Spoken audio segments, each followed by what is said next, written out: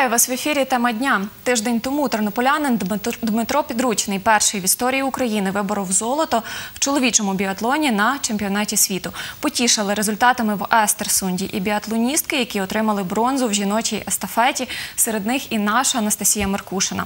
А днями до срібної і двох золотих медалей представник тернопільського інваспорту Тарас Радь додав ще і бронзу Кубку світу з біатлону та лижних перегонів в Японії. Всі вони, а також ще одна чемпіонка Олена Підгрушна, тренувалися на біатлонній базі в Підгородньому, про яке сьогодні піде мова одразу після сюжету.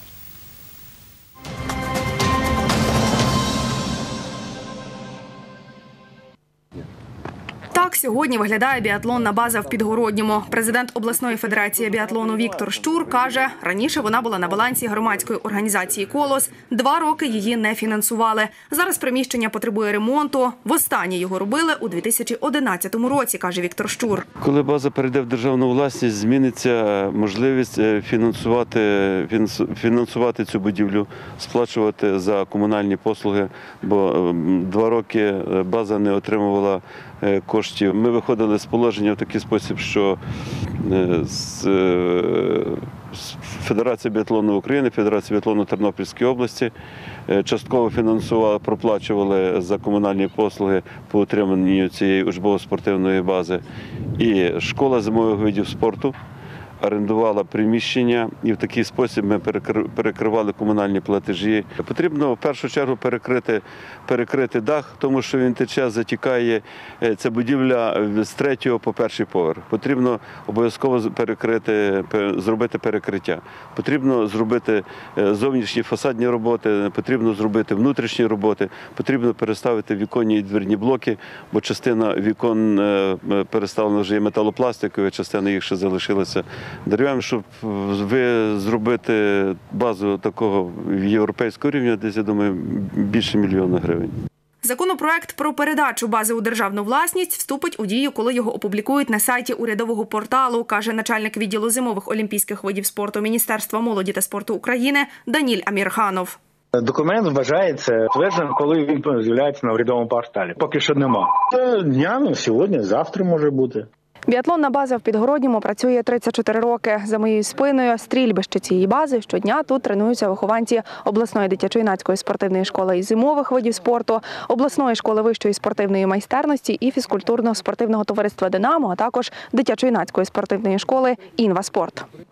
О 16-й годині розпочалося тренування групи початкової підготовки обласної дитячо-юнацької спортшколи із зимових видів спорту. Софія Федунець біатлоном займається три роки. Я дивилася біатлон по телевізору, і мені це дуже сподобалося. І я потім захотіла так само і стріляти, і кататися на лижах. Я беру приклад з Дмитра Підручного і Анастасії Меркушиною. Я хотіла б е, досягти таких самих результатів і вигравати багато разів.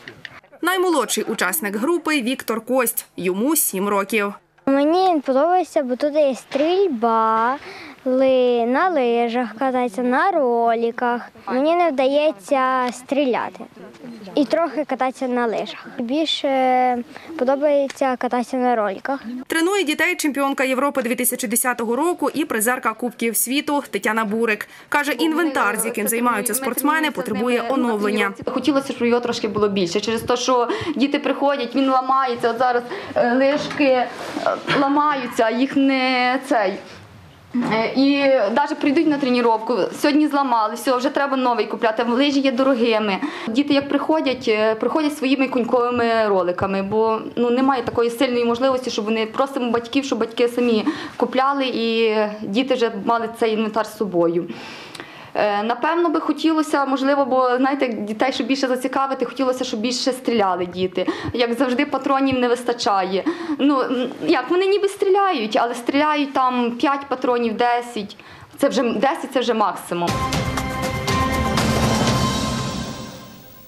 Отож, про біатлонну базу в Підгородньому сьогодні говоримо разом із нашими гостями. Це Віктор Мацикур, начальник управління фізичної культури та спорту Тернопільської облдержадміністрації. Вас вітаю. Та Володимир Приймак, директор Тернопільської обласної дитячо-юнацької спортивної школи із зимових видів спорту. Мої вітання. Вітаю вас. Отже, розпочнемо із того, в якому статусі зараз знаходиться школа, е, точніше база в Підгородньому. Йдеться про передачу на баланс держави. На якому етапі зависла ця передача? Вона абсолютно не зависла. Давайте ми почнемо з того, що база донедавна, до вівторка, до 13 числа, знаходилася в приватній власності. Мало хто з людей розуміє, як може Скільки часу вона знаходилась в приватній власності? Е, від самого свого початку. Історія така, що колись в радянські часи існувало добровільне спортивне товариство Колос, е, яке е, фінансувалося коштами колгоспів. Колгоспи мали певні відрахування за рахунок цих коштів, будувалися палаци спорту, будувалися ігрові зали, велотреки, тобто різні спортивні споруди. І наш, наша база під Городньому теж збудована тим радянським колосом.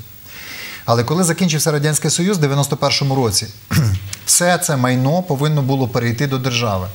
Але профспілки України, які на той момент зорієнтувалися, що вартість того всього майна в Україні складає десятки мільярдів карбованців чи гривень чи доларів, наклали мораторій. Е, Вони зумовили те, що були зупинуті процеси е, одержавлення цього майна.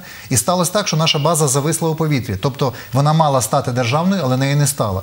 Через два роки після цих подій, в 93-му році, в нас в Тернопільській області була зареєстрована громадська організація з назвою, схожою на ту назву тої радянської організації, яка називалась Добровільне спортивне товариство Колос.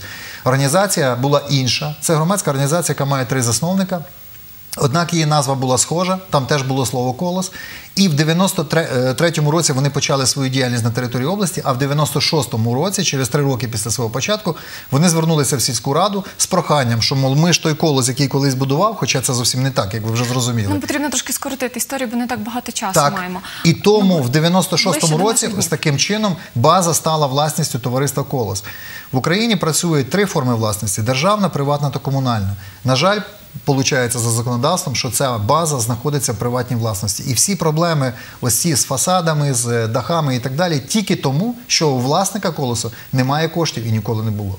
Яким чином ця база виживала до цього часу, до сьогоднішнього дня, і давала от таких чудових спортсменів?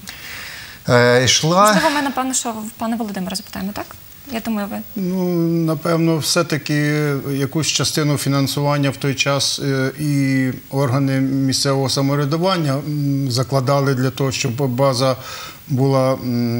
Могла можливість там проплатити елементарні комунальні платежі і так далі, і тому подібне. Але ну, більшу частину все ж таки, як власники, колос е, брав на себе.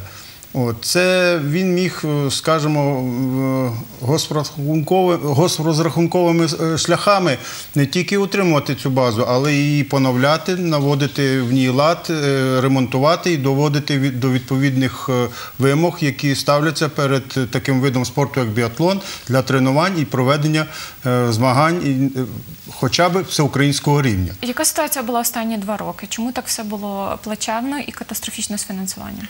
Е, Дивіться, насправді це лише формула, яка була вироблена разом спільно між головою обласної державної адміністрації, головою обласної ради та міністром молоді та спорту.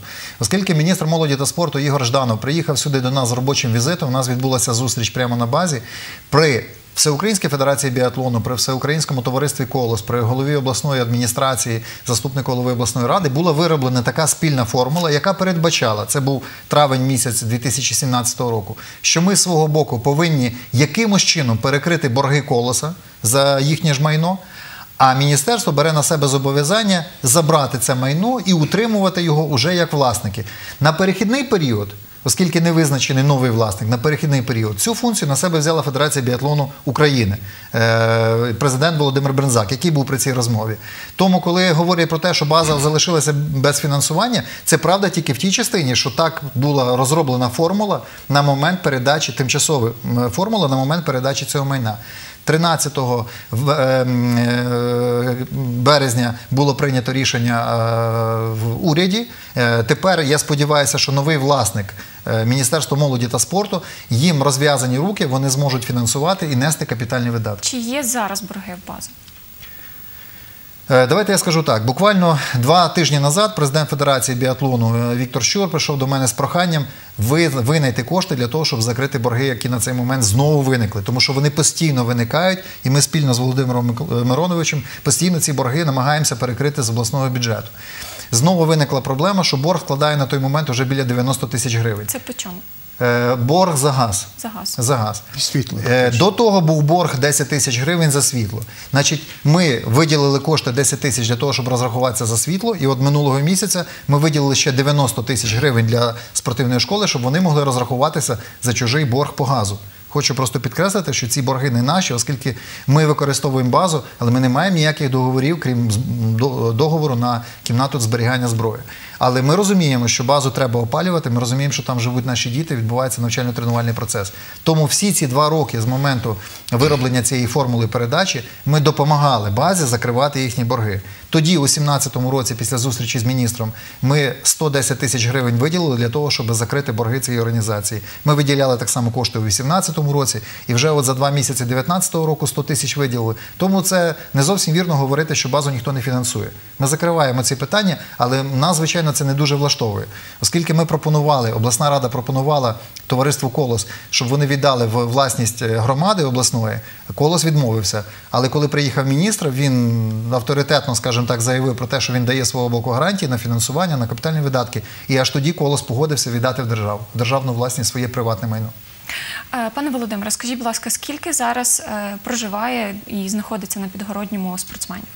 Ну, на даний момент е, я можу сказати про учнів нашої школи. На даний момент постійно проживають, тренуються. Це 14 учнів нашої школи. На сьогоднішній день вони майже всі на виїзді на чемпіонатах України різних рівнів в Тисовці. На даний момент, от на сьогоднішній день, троє чоловік проживають на базі біатлонів підгородньому. Але це не враховуючи представників інвеспорту, так? Так. Скажіть, будь ласка, яка ситуація із інвентарем? Наскільки його вистачає чи не вистачає, і хто забезпечує інвентарем? Можна, я на це питання відповім. Е, Від початку створення нашої спортивної школи у 2016 році відразу ж виділялися кошти для того, щоб е, цей інвентар поновлювати, придбати новий, сучасний і так далі. Звичайно, ми не вспіваємо за цінами, які існують, але порівняно з тим, що фінансувалася школа, яка була закрита колосом біатлонна обласна, нашій школі набагато більше коштів на ці видатки. Я можу так доповісти, що лише на сьогоднішній день у нас заплановано порядка на цей рік е, 150 тисяч е, на інвентар, набої і на інше необхідне обладнання для того, щоб е, нормальний навчально-тренувальний процес. Аналогічно і кошти на навчально-тренувальні збори, аналогічно кошти на виїзди на змагання. В рази просто збільшилася кількість цих грошей, про що ми неодночасно вже звітували перед громадськістю, перед так званими е, біатлонною сім'єю, перед активістами, які прикриваються своєю любов'ю до біатлона, а насправді руйнують цей вид спорту, сприяють руйнації. От е, це в рази, в рази збільшилася кількість. Це відчувають самі спортсмени, це е, відчувають організатори змагань, налагоджена співпраця із федерацією, з управлінням. Останні змагання це змагання об- обласні, чемпіонат області. Відкрита першість нашої школи з біатлону показали, що тільки спільними зусиллями. Ми можемо проводити навчально-тренувальний процес на належному рівні і відповідно досягати результатів, як впродовж останніх трьох років наші діти досягають на всеукраїнських Скажіть, змаганнях. будь ласка, чи підраховували, скільки потрібно коштів, аби забезпечити одного спортсмена необхідним інвентарем? Ну, ви знаєте, ці цифри на сьогоднішній день є е, відносні, тому що важко прорахувати. По-перше, під кожного учня треба індивідуальний інвентар. Починаючи навіть з лиш, різна ростовка лиш коштує по-різному. Добре, чи достатньо зараз лиш? Сьогодні лиш лише недостатньо, але той пробіл, який був багато років поспіль, ми не можемо одночасно забезпечити. Хоча ми е, ситуацію набагато покращуємо, поновлюємо міру можливості і виділених коштів цей інвентар. І на сьогоднішній день у нас не є така катастрофічна ситуація, як намагаються показати деякі джерела. Дозвольте, я прокоментую з цифрами, щоб ви розуміли, за 20 років до того інвентаря купилося на 0 гривень. За минулий рік для е, дитячо-юнацької спортивної школи зимової видів спорту було виділено 200 тисяч для придбання інвентаря. Це було 14 пар лиж фішер, е, ботинки, лижероліки, палки, кріплення. Е, Що таке 200 тисяч? Це мало чи багато? Звичайно, це мало. І, мене, як начальника управління, дуже хвилює, що всі наші і обласні, і районні, і міські школи десятиліттями не закупляли ніякого інвентаря. Я поставив як один із пріоритетів на 2017, 2018 і наступні роки щороку виділяти кошти з обласного бюджету на е, модернізацію обладнання на закупівлю нового інвентаря за закупівлю патронів. Я почав це робити буквально з першого дня своєї роботи, тому що я був призначений в жовтні 2014 року, і вже в кінці 2014 року обласна рада виділила кошти на е, придбання патронів. і конкретно так- говорити в цьому році, яке буде мати фінансування база. От перейде вона вже під власність держави, і що ми будемо мати по коштах. Її фінансувати буде держава. Ми не будемо мати права її фінансувати, тому що в неї власником буде Міністерство молоді та спорту, яке має власний бюджет, яке має власне підприємство, яке називається Державне підприємство Центр олімпійської підготовки з біатлону. От власне цей центр олімпійської підготовки з біатлону і буде балансоутримувачем, тобто власником зможе взяти туди працівників, технічний персонал, набрати їх на роботу, оплачувати видатки по газу, світлу, воді і всіх інших видатках. Тобто власником є не обласна рада, не обласна адміністрація, не школа, а власне державне підприємство. ЦОП. Ви знаєте, е, Віктор Щур знає про те, які потребують е, ремонти, роботи, капітальні е, вкладення в відновлення бази. Чи відомо там, чи є там плани в міністерстві про те, скільки потрібно коштів і чи будуть вони? Е, Ви знаєте, оскільки е, передача тільки от зараз е, ну, це як норма прямої дії, але ж вона повинна завершитися юридично. Я думаю, що власник, директор цього центру олімпійської підготовки, коли він приїде сюди, збере фахівців, збере людей, які знають і розуміють, що скільки зараз коштує. Він виробить такий фінансовий план, звернеться до Міністерства молоді та спорту і отримає ці кошти державного бюджету. Тобто наразі жодних планів про кошти і на відновлення на ремонт. Ну ми не працюємо в міністерстві, ми не можемо говорити позицію міністра. А що ми можемо з обласного бюджету виділити для дітей? Е, Дивіться, це різні речі. Ми трошки речі плутаємо. Значить, школа належить області, і я несу відповідальність разом з директором про стан справ у школі.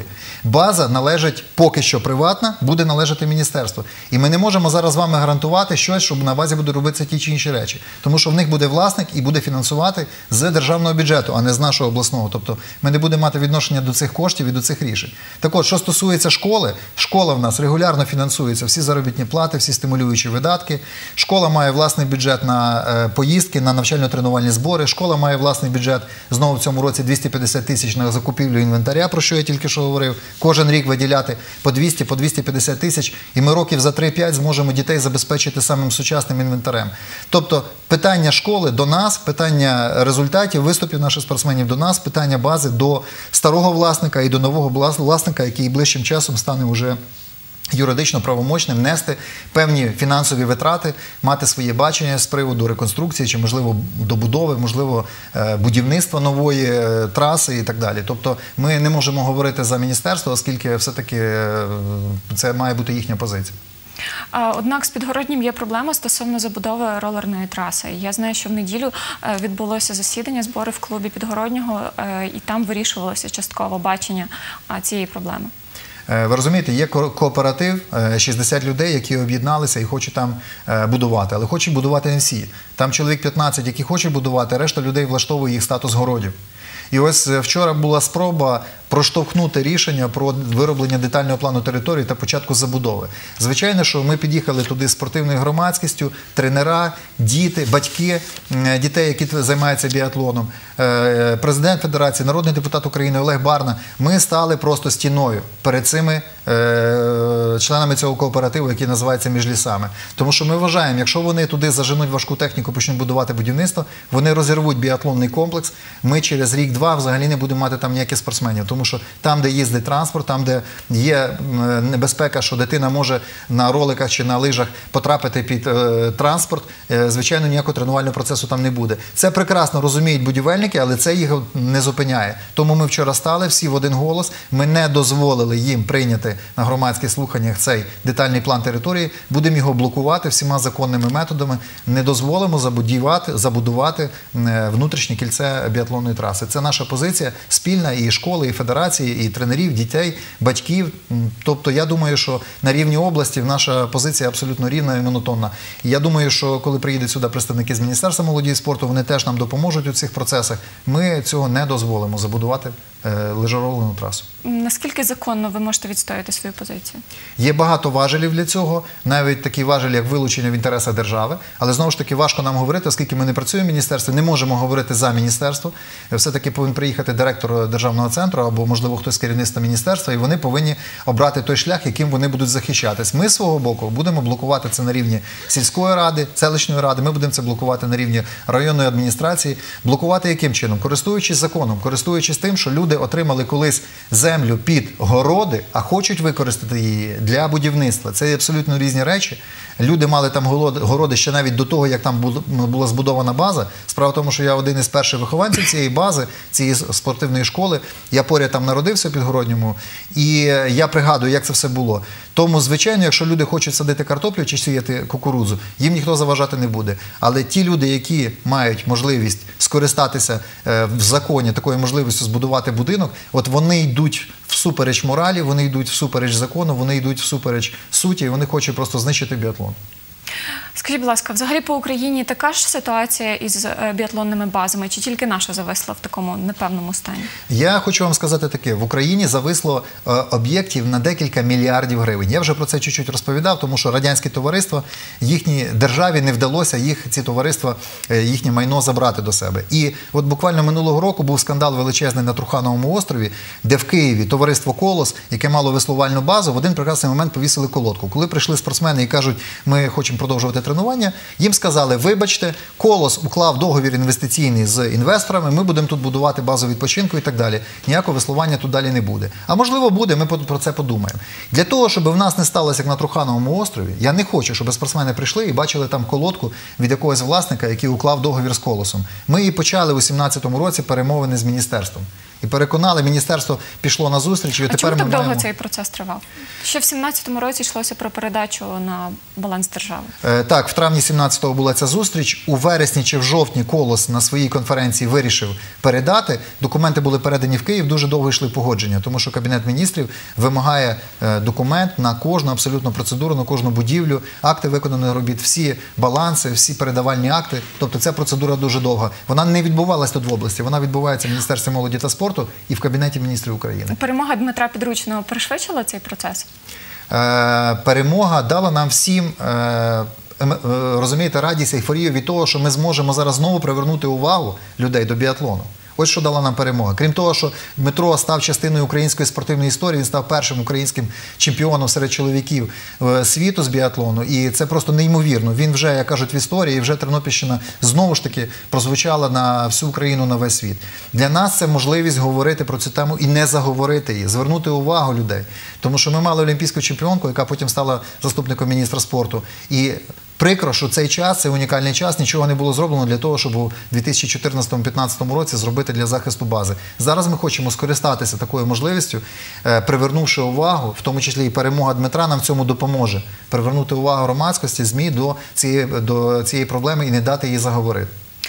Дмитро Підручний починав свої тренування в е, базі, яка знаходиться в острові. Я пропоную зараз переглянути е, сюжет із цієї бази.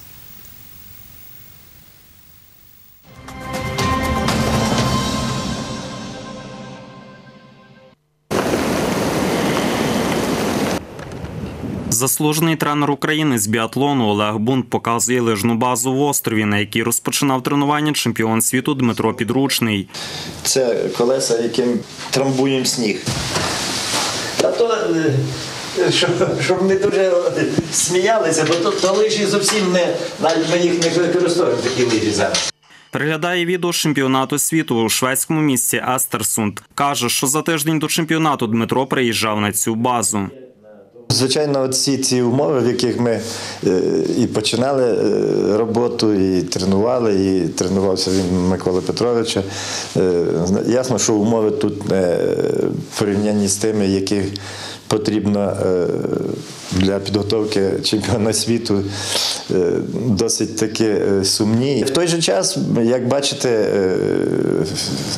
ми і він досягнув такого результату е, в тих умовах. Олег Бунт розповів про спортивний характер Дмитра Підручного, який проявився відразу. Діма в самому такому юному віці вже попав сюди на п'єдестали, він вже вигравав серед дітей.